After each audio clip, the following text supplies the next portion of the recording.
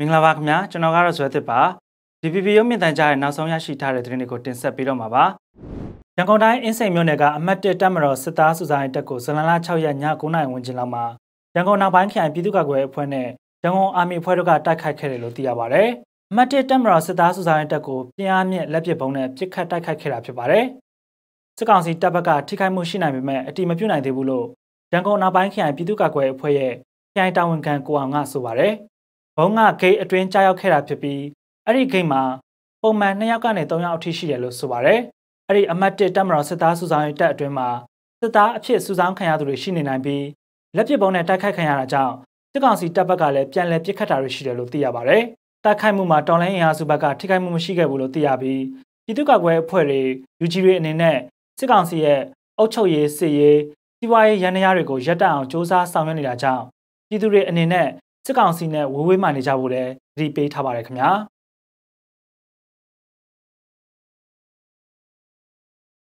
ရန်ကုန်မြို့ကကြားမုံဈေးတန်းတွေအပါအဝင်ဈေးတွေနဲ့လမ်းဘေးရောင်းချနေတဲ့မိုဟင်းကားနဲ့အတုပ်ဆိုင်တွေကိုထပ်မံရောင်းချခြင်းမပြုဖို့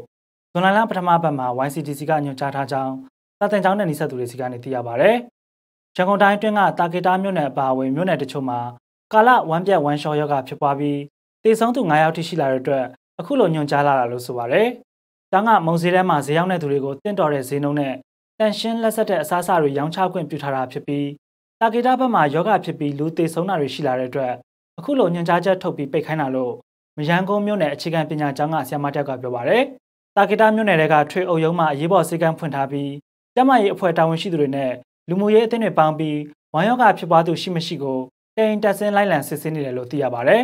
တာဂီတာမြို့နယ်အပါအဝင်ရန်ကုန်အရှေ့ပိုင်းခရိုင်မြို့နယ်တချို့မှာ ပြင်းထန်ဝမ်းပြက်ဝမ်းလျှောယောဂဖြစ်ပွားတဲ့လူနာတချို့ပြည်သူ့စေယုံတွေမှာတက်ရောက်ခဲ့ပြီးလက်ရှိအချိန်ထိယောဂကြောင့်တည်ဆုံတဲ့လူနာမရှိသေးကြောင်းစစ်ကောင်စီရဲ့ကျန်းမာရေးဝန်ကြီးဌာနကဇွန်လ6ရက်နေ့စွဲနဲ့အသိပေးထုတ်ပြန်ထားပါတယ်ခင်ဗျာ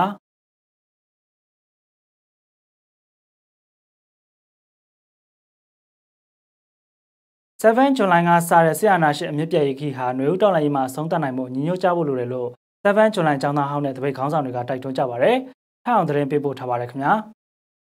အာနာရှင်ဗိုလ်ချုပ်ကြီးနေဝင်းဦးဆောင်တဲ့ဒေါ်လာရေးကောင်စီဆိုရကအကြောင်းသားတွေကိုဖိနှိပ်ချုပ်ချယ်တဲ့အဆောင်စည်းကမ်းတွေကိုတတ်မှတ်ခဲ့တာကြောင့်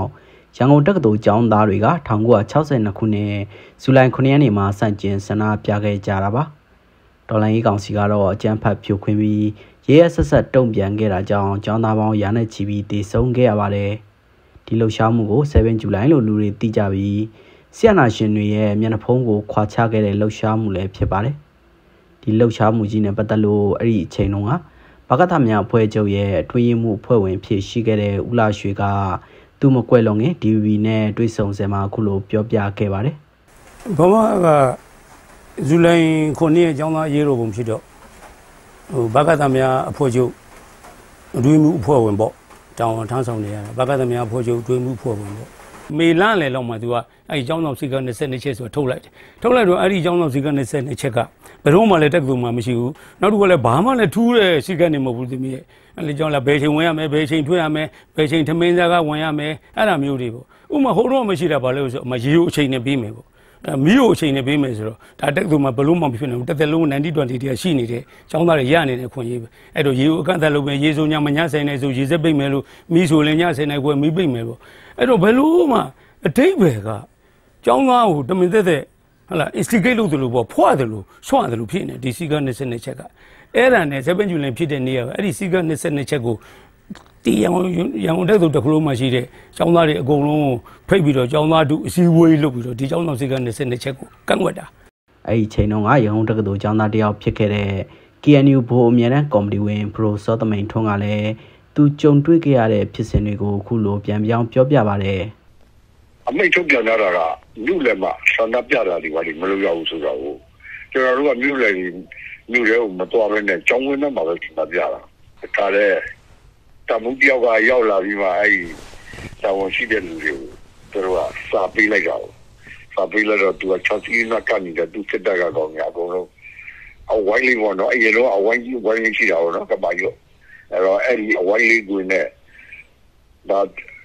စစ်သားတွေကနောက်ပြီးဆုံးမှာအဲ့ဒါသူထောက်ဟိုဘောမှုစုတိုင်းပေါ့ဗျာနော်တိုင်ဝတ်ကအနောက်အရှိကဘူက ပစ္စတိုနဲ့ပနဖောက်လိုက်တော့အကုန်လုံးပြစ်တာပေါ့ဗျာအဲ့မှာကျွန်တော်တို့တောင်းသားတွေကလည်းမပြစ်ဘူးထင်တာပဲလေအာအဲ့မှာချာလည်းတော့မြင်ကြည့်တာအဲ့ချာကြီးကိုကန်ပြီးညနေတဲ့ကျောင်းသားတွေအများဆုံးထိတာနော်ဇူလိုင်လ10ရက်နေ့မနက်လင်းအားကြီးချိန်မှာတော့စစ်တပ်ကလွတ်လပ်ရေးခေါင်းဆောင်တွေကို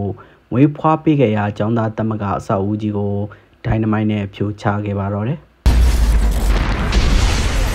အဲ့လို9နိုင်ခွဲလောက်ကြောင့်တက်မကယူသူတို့ဖြိုပြတဲ့အချိန်မှာဒီပေါင်ချင်းမှာဘဝတို့တော်တော်များများရှိကြတယ်ကို့အစီအစဉ်လေးကိုပေါ့ဟိုအိမ်မှာဒီအိမ်မှာနေဟိုအိမ်နေနေပေါ့အဲ့လိုရှိရှိတော့ဒါကထူးထူးခြားခြားပဲလေဟလာ9နိုင်ခွဲညမနေ့9နိုင်ခွဲလောက်ကြောင့်မှသူတို့အဆောက်အဦကိုဖြိုလိုက်တာပေါ့ဒီအခြေအနေတွေကပဲတော်လန်ရေးလှုပ်ဖို့အတွက်တွန်းပို့ခဲ့တာလို့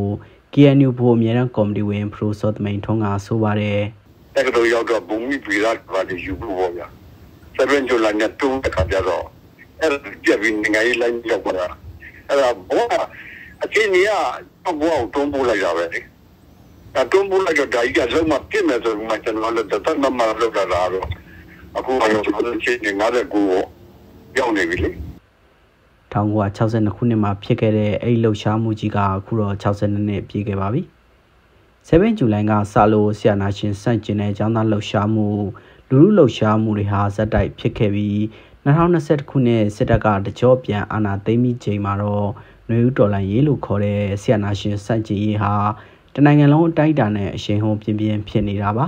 ။ဒီဒီချိန်တော့ဆီယနာရှင်စနစ်ကိုအမြင့်ဖြတ်ဖို့အတွက်ညီညွတ်ဖို့လိုပြီလို့ပရိုစောသမိန်ထွန်းကတိုက်တွန်းပါတယ်။ဘာမှဒီပြဿနာကပြောရမယ်ဆိုရင်ဒီစစ်တပ်အုပ်ချုပ်မှုကြောင့်ဖြစ်ပေါ်တာ။စစ်အာဏာရှင်အုပ်ချုပ်ပေါ်ဗျာ။အုပ်ချုပ်လို့ဖြစ်ပေါ်လာတဲ့ကိစ္စတွေပဲ။အဲ့တော့ကျန်တဲ့လူဟာတွေက သူ့ကြောင့်မို့ပြန်လဲတုံ့ပြန်မှုတကယ်ဟိုအဆုတ်ခွေးတွေဖြစ်ကုန်တာပဲ။အဓိကကစစ်တပ်ပဲဗျာ။ဒီစစ်တပ်ကိုပြောလုံးနိုင်မဲ့လူတွေလည်းဒီကနေ့ပြောလုံးတဲ့နေရာလဲကျွန်တော်တို့ကညီမဟုတ်ဗျာ။နယူးဒေါ်လာရေးဟာ7ဇူလိုင်ကစတဲ့ဆီယနာရှင်ဒေါ်လာရေးလှုပ်ရှားမှုအဆက်ဆက်ရဲ့မပြီးပြတ်သေးတဲ့လှုပ်ရှားမှုတွေကိုအဆုံးသတ်မဲ့အဆုံးသတ်တိုက်ပွဲဖြစ်ခံယူပြီး ဘုံရီမှန်းချက်ဖြစ်တဲ့စစ်မှန်တဲ့ဖရယ်ပြည်ထောင်စုကို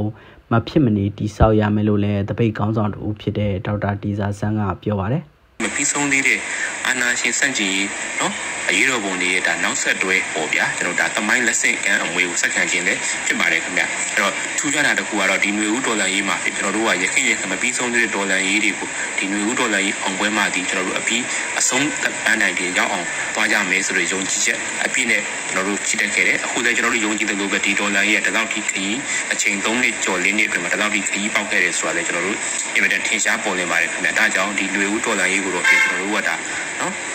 ဆုံးသက်တိုက်ပွဲဖြစ်ခံယူပြီးတော့ပေါ့ဗျာကျွန်တော်တို့ရဲ့အန်တီမပန်းတိုင်ဖြစ်တဲ့ဘုံရီမန်းချက်ပန်းတိုင်ဖြစ်တဲ့စစ်မှန်တဲ့ Federal Democracy ပြည်ထောင်စုတည်ကြည်ကိုအဖြစ်မနေကျွန်တော်တို့မုံချတည်ဆောက်သွားမှာလည်းဖြစ်ပါတယ်ခင်ဗျာ7ဇူလိုင်62နှစ်ပြည့်တဲ့ဒီနေ့မှာတော့တနိုင်ငံလုံးမှာဆီယနာရှင်စန့်ကျင်ရေးလှုပ်ရှားမှုတွေကိုပုံစံမျိုးစုံနဲ့ပြုလုပ်ခဲ့ကြပါတယ်ကျွန်တော်ထားအောင်ပါ DPP ရုပ်မြင်တန်ကြားနောက်ဆုံးရတဲ့သတင်းတွေကိုရှုစားခဲ့ရတာပါကျွန်တော်ကတော့ဇွဲတစ်ပါကျေးဇူးတင်ပါတယ်ခင်ဗျာ